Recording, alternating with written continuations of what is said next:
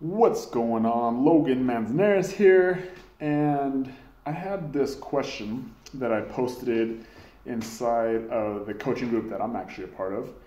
So, um, some of you guys uh, probably don't realize this, but I myself actually pay for a coach as well because I need someone to hold me accountable because I'm a human being just like everybody else is.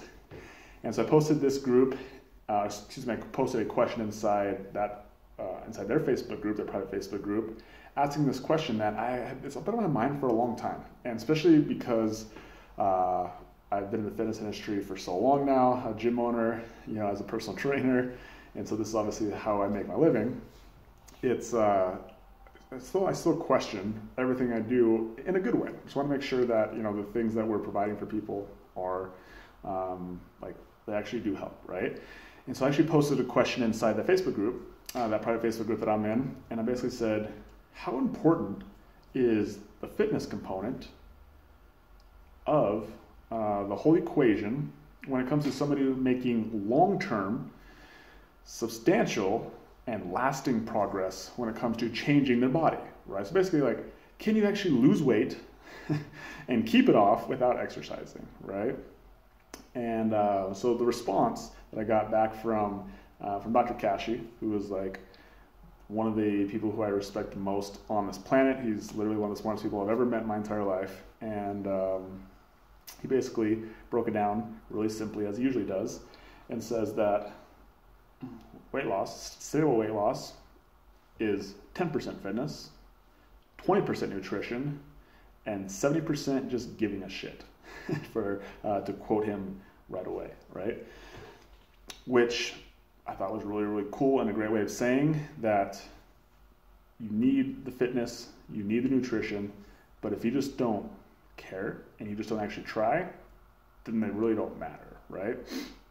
And uh, I think that's a really important concept to understand that you might know, you might have all the answers, or you might not have the answers to how to work out or what to eat, whatever it may be.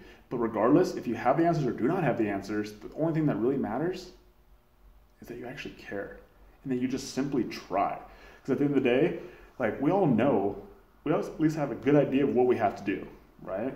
So you have to, we all know that we, we should move a little bit more than we're moving, right? We should, we should actually dedicate and prioritize some exercise.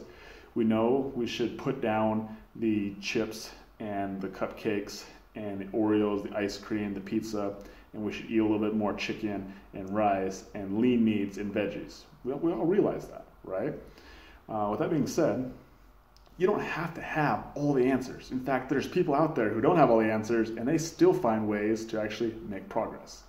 And you know how they do that? It's because they just care. They just literally try. And so if you're willing to try, that's 70% of the equation, right? So if you want the last 30%, then that's when you find a coach. That's when you find the good nutrition plan. That's when you actually have the step by step process. But the first 70% is just you caring and you just, as like as Dr. Cash would say, just giving a shit.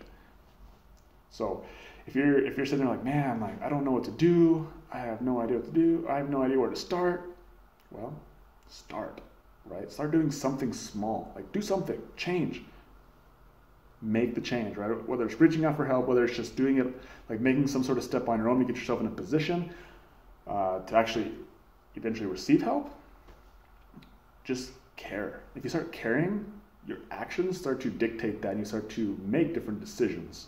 And all of a sudden, you start to think about it in the aspect of like, is this decision going to move me closer to my goals or move me further away from my goals?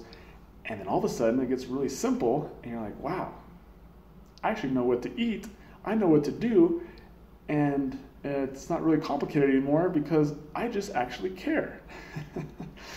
so, hopefully, that helps someone out there if you're in a position like you really, really want to make this big change, you just don't know where to start.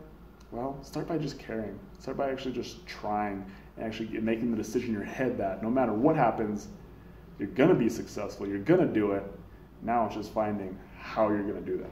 So, hopefully, that. Uh, inspired somebody, and I look forward to talking to you soon.